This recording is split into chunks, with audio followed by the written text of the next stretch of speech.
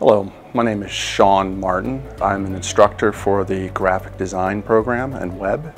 One of the reasons why I think students should come here is because it's short term, it's high demand, computers aren't going anywhere. They're always evolving. We always keep up with the latest technologies. One of the curriculums I work in is the graphics development program, and that's where my strength lies.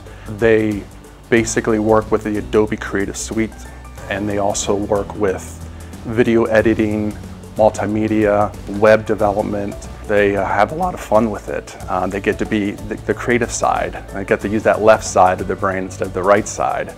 Um, it's, it's one of those exciting curriculums that people tend to gravitate to because it doesn't feel like school. It just feels like they're here and they're like, wow, this, I'm gonna get paid for this? This is great.